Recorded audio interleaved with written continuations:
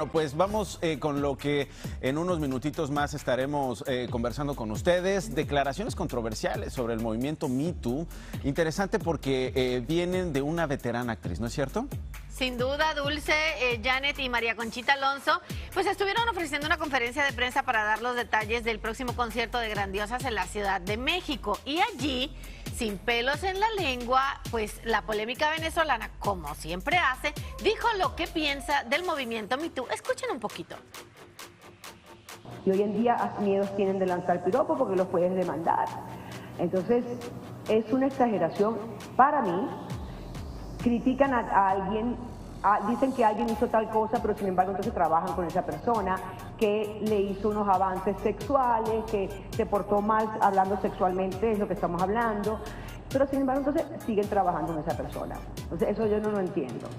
Mm, pues es muy sencillo de entender. Muchas mujeres viven una presión, muchas mujeres viven en una situación de poder miedo. inferior, muchas personas tienen miedo, muchas mujeres viven amenazadas y siguen trabajando por ellos. Y una cosa muy no importante, los de- piropos, los piropos se piden. Claro. Vivimos un momento en el que las violencias contra las mujeres no permiten que alguien le grite a una mujer lo que no quiere escuchar.